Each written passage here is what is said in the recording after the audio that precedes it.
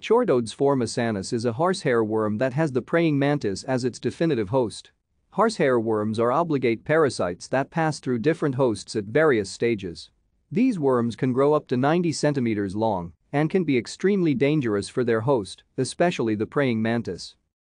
Chordodes formosanus is morphologically similar to Chordodes japanensis.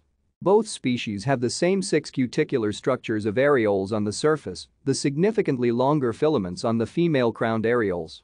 Female horsehair appears to have a round and slightly swollen posterior end of their body, while males have an arrowed end. The definitive host range of horsehair worms is limited one or few species.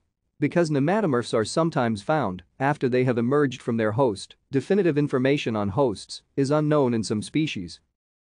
This horsehair worm parasite is prominent in Japan and Taiwan.